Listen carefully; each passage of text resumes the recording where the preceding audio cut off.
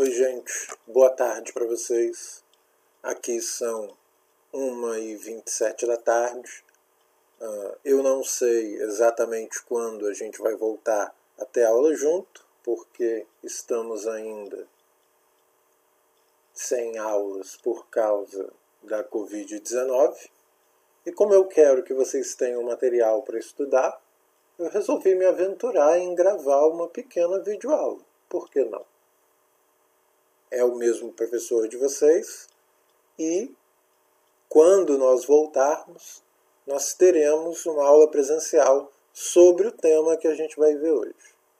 É o último tema do nosso primeiro trimestre, porque nós já vimos Ética e Filosofia Política de Sócrates, Platão e Aristóteles.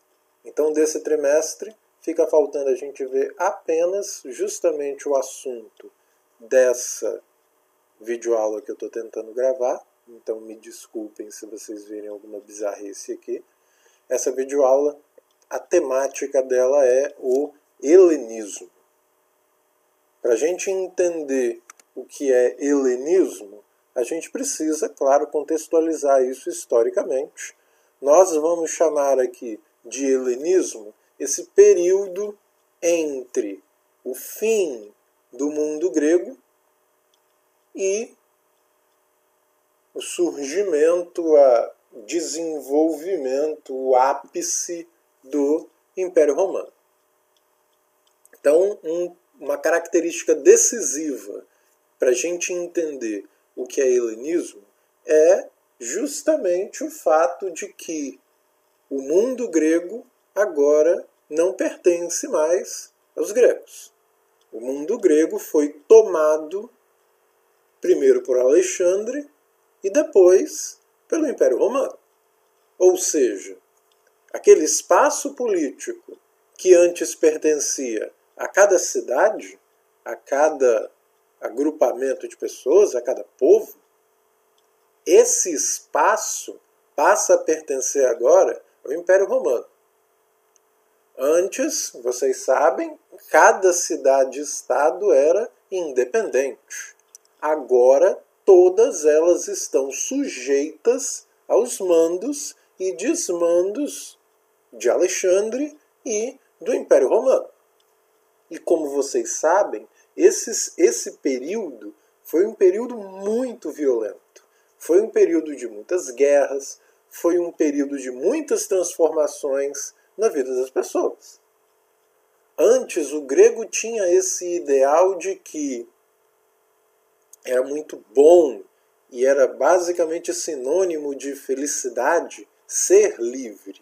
E liberdade aqui leia-se a ideia de que você pode decidir o que fazer com o seu próprio destino. Agora, os povos estão todos sujeitos a um poder maior que não é o da própria cidade, mas que é o poder do império. Então a grande pergunta que emerge é como ser feliz nesse espaço. Então olhem o mapa que eu estou mostrando aqui na tela, olhem como toda essa região em amarela foram regiões que Alexandre ocupou e conquistou. Então tenta imaginar que você mora num lugar desses, você está acostumado com um certo estilo de vida, você entende que felicidade é a sua capacidade de se autodeterminar, aí do nada, do nada, você vira súdito de um imperador cuja capital é no quinto dos infernos e de tempos em tempos vem tropas para te cobrar imposto e impor a vocês uma série de costumes, uma série de coisas, que é normalmente é o que o Império faz. Grande pergunta, então, que vai ecoar em toda a filosofia helenista é como ser feliz nesse mundo novo. Ah, é muito difícil a gente dizer assim, na tora, na lata, o que é helenismo. A gente vai precisar organizar as filosofias que, que se desenvolvem nesse período em pequenos grupos. Então a gente vai ver aqui um primeiro grupo de filósofos helenistas que a gente chama eles de cínicos. Eles fazem parte de um movimento que vai ser conhecido na história da filosofia como cinismo. E aqui na imagem, gente, vocês veem a reprodução de um quadro muito famoso que é de tem uma de um lado, na esquerda, vocês veem Alexandre e na direita vocês veem um dos filósofos do cinismo chamado Diógenes Laércio. Já já vocês vão entender por que que Diógenes aparentemente não quer nada com Alexandre. Ah, vejam só, o cinismo, gente, ele começa aproximadamente em 400 a.C., século 4 a.C. Ele teria sido criado, até onde a gente sabe, por uma pessoa que foi aprendiz de Sócrates. A gente chama esse cara de Antístenes. Só que o grande representante dessa filosofia é Diógenes Laércio. A característica fundamental do cinismo é que ele se opõe radicalmente às convenções sociais. Convenção, leia-se, uma coisa que é artificial, uma coisa que foi criada pelos seres humanos quando eles se reuniram em conjunto e decidiram que as coisas são do jeito que eles querem ser. Isso é o que a gente chama de uma convenção. O cinismo é um movimento filosófico que contesta, que enfrenta essas convenções sociais. E eles defendem que, em oposição às convenções sociais, a felicidade não está no seu comprometimento com as convenções sociais, mas está justamente em viver de acordo com a natureza. Isso quer dizer que o cinismo se caracteriza por um enfrentamento em relação às normas sociais. O cinismo se caracteriza por um desprezo daquilo que é supérfluo. Ou seja, tentem imaginar, por exemplo, que o cinismo vai promover uma rejeição completa aos padrões de moda eu não preciso, por exemplo, me preocupar excessivamente com o que eu me visto, desde que o que me vista sirva para me vestir. Então, eles desprezam a ideia de uma coisa que seja supérflua. Eles desprezam a ideia, por exemplo, do prazer físico. Em certo sentido, o cinismo continua aquele raciocínio socrático de que o melhor que uma pessoa pode fazer por si mesma é examinar a própria vida, é conhecer a própria vida, é dominar, controlar a própria vida. A tal ponto que aquele ideal grego de autarquia, aquele ideal grego onde uma pessoa tem que ser capaz de exercer poder e controle sobre si mesma, esse ideal permanece muito forte entre os cínicos. Então, esse é um primeiro movimento filosófico dentro do helenismo. Bastante conhecido, bastante famoso. O Diógenes é muito conhecido na história da filosofia. Eu gosto de dizer que ele é o Chaves da história da filosofia. Uma das histórias diz que Alexandre, vocês estão vendo aí na imagem, ficou sabendo de Diógenes, gostou muito do pensamento dele, e um dia, Diógenes, um dia Alexandre se ofereceu para Diógenes da seguinte forma: ó, você diz o que você quer e eu, Alexandre, vou fazer acontecer. É só você pedir. O que Diógenes teria respondido é justamente: sai da frente do meu sol. Mostrando todo o desprezo que Alexandre todo o desprezo que ele, Diógenes, tem por Alexandre, à medida em que ele é o representante máximo daquilo que é a vida convencional entre os gregos. Então, beleza. A gente conhece o cinismo agora. Existem outros movimentos helenistas quando a gente fala em ética e filosofia política. Um segundo movimento é o epicurismo. Aqui à direita, em cima de mim, vocês estão vendo o busto de Epicuro. movimento epicurista começa mais ou menos em torno do século III a.C. E o maior expoente, vocês podem imaginar pelo nome, é justamente Epicuro.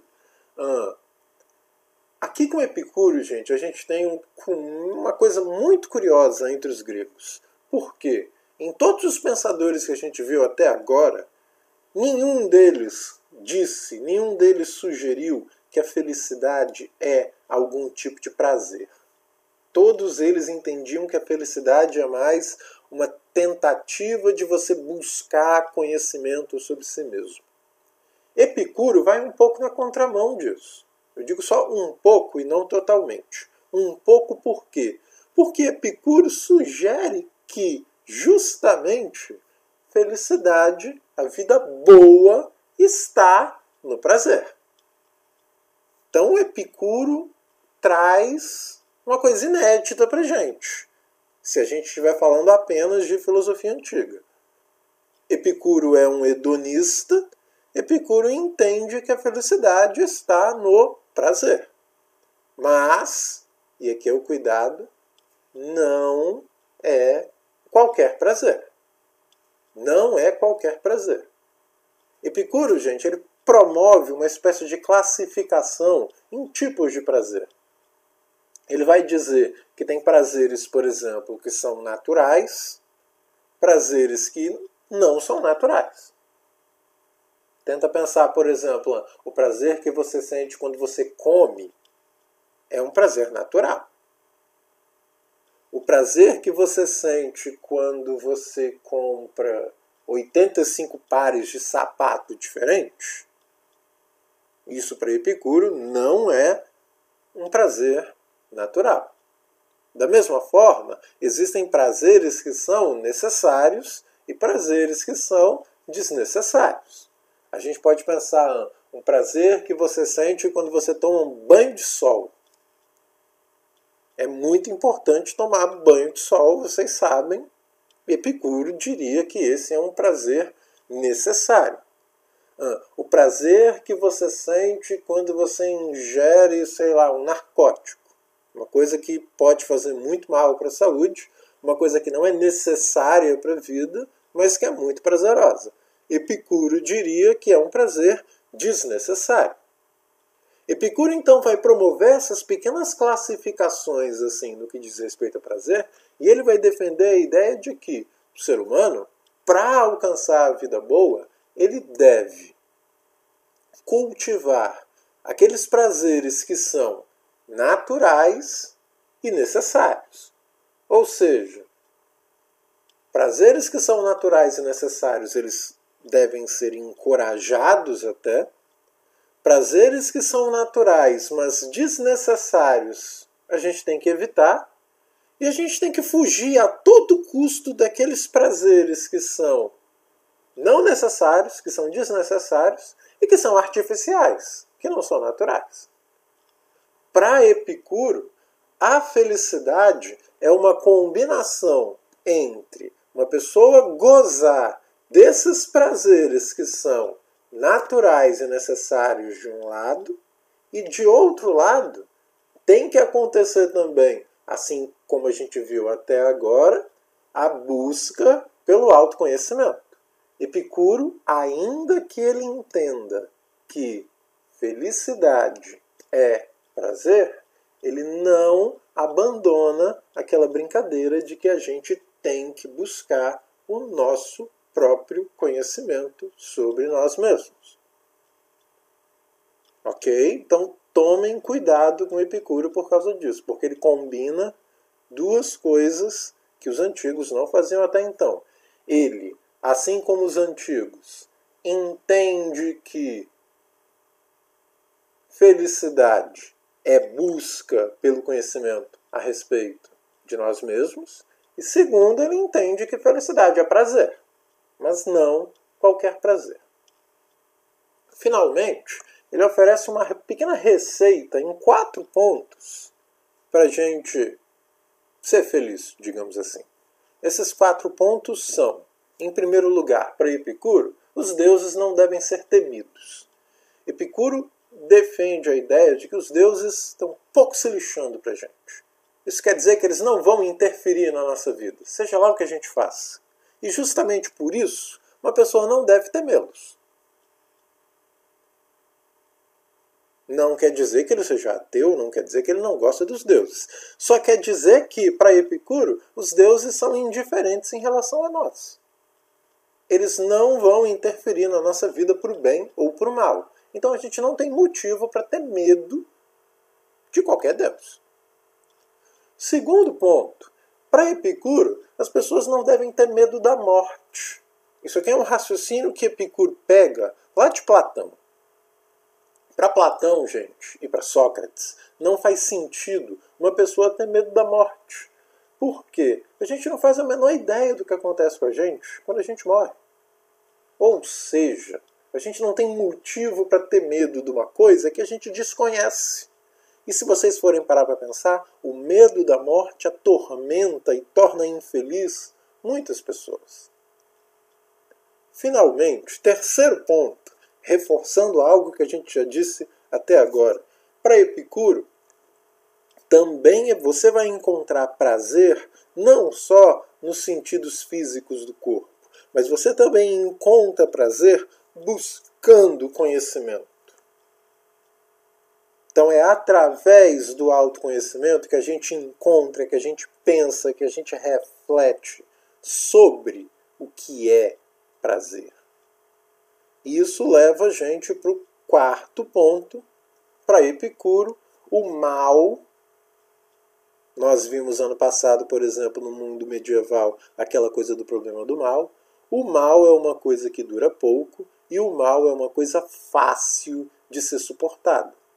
Então, para Epicuro, uma pessoa não deve, por exemplo, se desesperar porque está acontecendo, sei lá, uma coisa horrível no lugar onde ele está vivendo. Epicuro tem essa ideia de que o mal dura pouco de que é fácil suportar. Talvez, não sei, ele pensaria diferente se estivesse vivendo aqui conosco. Mas, pô, a gente pode aproveitar esse exemplo aqui para pensar sobre tudo que a gente está experimentando aqui com o Covid-19. Então, beleza. Esse é o epicurismo. Nós já vimos, então, o cinismo, nós já vimos o epicurismo, Agora a gente vai ver uma terceira corrente, muito famosa também, que é o estoicismo. Aqui, gente, na imagem, vocês estão vendo uma deusa romana. Isso é uma representação de uma deusa romana que a gente conhece pelo nome de Fortuna. Vocês vão ver que ela é uma imagem bastante curiosa para a gente pensar o que é o estoicismo. Ah, grandes representantes do estoicismo vocês têm, por exemplo, Marco Aurélio, que foi um imperador romano, vocês têm Boécio, vocês têm Cícero, tem muitos pensadores estoicos. Os estoicos partem do pressuposto de que a gente saiba ou não, quer a gente goste ou não, a gente conhecendo isso ou não, existe uma ordem natural no universo. Existe um sentido para tudo. As coisas acontecem ao meu redor, eu posso achar que elas não fazem sentido, mas existe um sentido que orienta tudo. Para os estoicos, nós fazemos parte de uma ordem natural de coisas que está fora do nosso controle. Ou seja, eu não possuo controle sobre o universo ao meu redor, eu não possuo controle sobre as circunstâncias onde eu existo. Eu, por exemplo, Bruno, não escolhi nascer homem, não escolhi nascer alto, não escolhi ter a voz que vocês estão ouvindo agora, não escolhi ser branco, não escolhi ter cabelo preto, eu não escolhi ser filho de meu pai e minha mãe e por aí afora. São todas coisas que foram impostas para mim, eu já nasci dentro disso todos os acontecimentos da vida estão inscritos nessa coisa, nessa ordem natural que existe e que está aí. Ah, o que, que o estoicismo vai perceber? O estoicismo vai afirmar que muitas pessoas têm esse costume, têm esse comportamento, essa tendência a querer justamente se apegar a coisas que estão totalmente fora do controle delas. Uh, e aqui, gente, entra a coisa da fortuna. Uh, os romanos acreditavam que existia uma deusa que, sempre que cada coisa nascia, essa deusa rodava a roda da fortuna e onde essa roda caísse, estava já decidido o destino dessa pessoa. Então tenta pensar Silvio Santos, mano, rodando lá o peão da casa própria.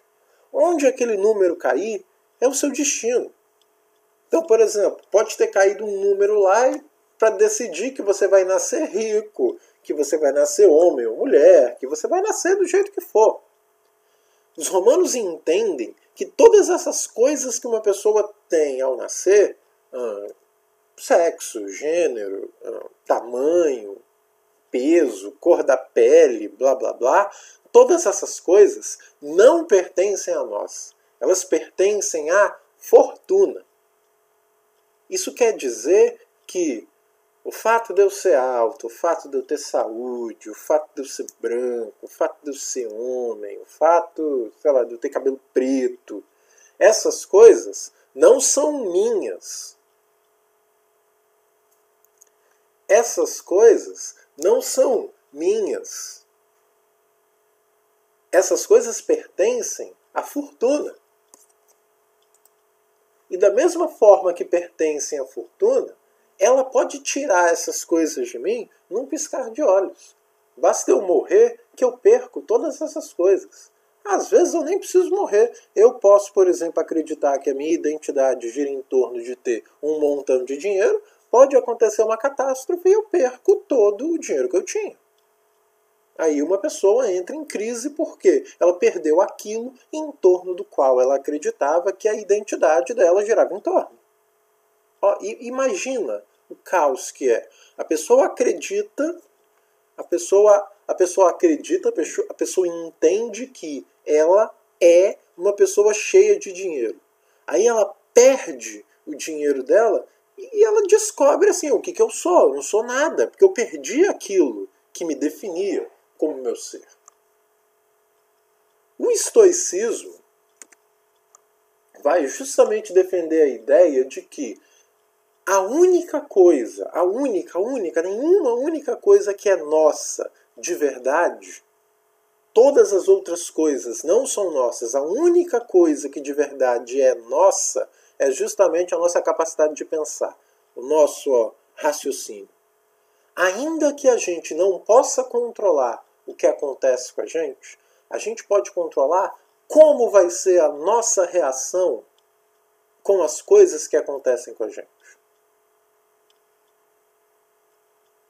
Pro epicurismo, ou pro estoicismo, cuidar disso, cuidar do próprio pensamento e justamente pensar sobre o que está acontecendo ao nosso redor, nisso consiste a felicidade. A felicidade é essa busca por autoconhecimento, é você tentar encontrar o seu lugar, o seu espaço nesse universo inteiro. Ah, o, o estoicismo, gente, chama literalmente de falsa felicidade esse apego a coisas que não são nossas. Então, por exemplo, se eu, Bruno, me definisse pelo fato de que eu sou homem, sei lá, pelo fato de que eu sou alto, o estoicismo diria que isso é falsa felicidade. Porque eu estaria me apegando a uma coisa que não é minha de verdade. Eu estaria me apegando a uma coisa que pertence à fortuna. Então é decisivo aqui para o estoicismo essa ideia de que existe uma ordem natural das coisas no universo, quer a gente saiba ou não, que nós não temos controle nenhum sobre essa ordem natural. O que nós temos controle é como a gente reage, como que a gente se comporta diante dessas coisas. Então, com isso, amores, vocês têm aqui as três correntes principais do helenismo: cinismo, epicurismo e estoicismo. Esse assunto já caiu bastante, tanto no Enem quanto em questões de concurso público. Eu trouxe uma questão de concurso público aqui justamente para vocês verem a importância que Epicuro e o helenismo em geral dá para a filosofia. Como sempre, como eu sempre digo para vocês, quando a gente vai fazer uma questão objetiva, a gente começa pelo comando da questão e pelas alternativas. Então vamos lá. Ó. Para Epicuro, como se expressa na carta a Meneceu, o objetivo da filosofia é. Então a questão está me perguntando qual é o objetivo da filosofia para Epicuro. Letra A. A felicidade do homem.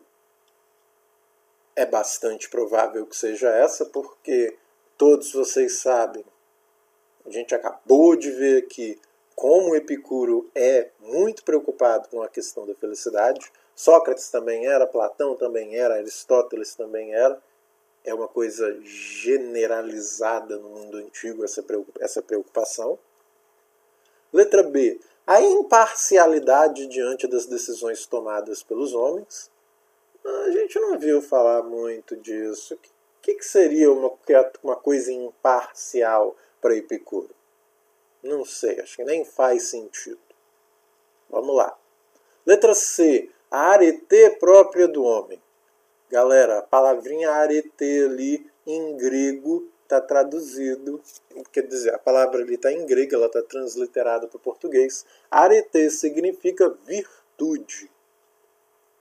Notem que a gente não falou, por exemplo, em Epicuro, como a gente falava em, Platão e Aristóteles. Nós vimos que Platão e Aristóteles falam muito de virtude. O Epicuro, menos. O Epicuro até tem essa ideia de que o pensamento é a virtude própria do ser humano. Mas será que esse é o objetivo da filosofia? Vamos ver. Letra D, ó, o gozo imoderado dos prazeres mundanos. Ah, a gente já viu Epicuro faz aquela classificação dos prazeres e ele diz que a gente tem que cultivar alguns em detrimento dos outros. Ou seja, o gozo é moderado. Não pode ser um prazer artificial e desnecessário. Então, a letra D a gente sabe que já não é a resposta certa. Letra E, estabelecer, refutar e defender argumentos tirados da Bíblia. Eu não sei também até que ponto Epicuro se preocupava com a Bíblia é uma alternativa aqui que eu descarto também como a resposta certa. Eu estaria girando em torno aqui da letra A e da letra C. Vamos lá para a questão. Ó. Leia o trecho da carta a Meneceu. Nenhum homem deve demorar a filosofar, e nenhum velho deve parar de filosofar, pois nunca é cedo demais, nem tarde demais para a saúde da alma. Afirmar que a hora de filosofar ainda não chegou ou já passou é a mesma coisa que dizer que a hora ainda não chegou ou já passou. Devemos, portanto, filosofar na juventude e na velhice, para que, enquanto envelhecemos, continuemos a ser jovens nas coisas boas, nas boas coisas, mediante a agradável recordação do passado e para que ainda jovens sejamos, ao mesmo tempo, graças ao destemor diante do porvir. Devemos então meditar sobre tudo. Notem que nessa carta não houve nenhuma menção sobre qual seria a virtude própria do homem. O texto não fala em momento nenhum sobre qual é a virtude humana. O que o texto menciona aqui é a gente conseguir ser jovem, mas ao mesmo tempo velho, ou seja, experiente e protegido, portanto, das armadilhas que a vida pode jogar para cima da gente, e ao mesmo tempo, quando a gente for velho, a gente permanecer jovem. Epicuro está falando aqui, gente, da felicidade do ser humano. A resposta certa é letra A. Então, amores, essa é a videoaula de vocês. Apenas vocês vão ter acesso a isso através lá do Google Sala de Aula. O vídeo não vai estar listado no YouTube. E quando a gente voltar, a gente vai ter a aula presencial de estoicismo, cinismo e epicurismo. A gente vai ter uma aula só sobre o Boécio. Prometo para vocês, é uma aula muito legal e é uma aula que vai preparar a gente para ver a filosofia política e a ética de Maquiavel. É isso. Beijo para vocês todos. Eu amo vocês. Eu tô com saudade de vocês. Eu sonhei com vocês. Aquele abraço. Tchau e beijos.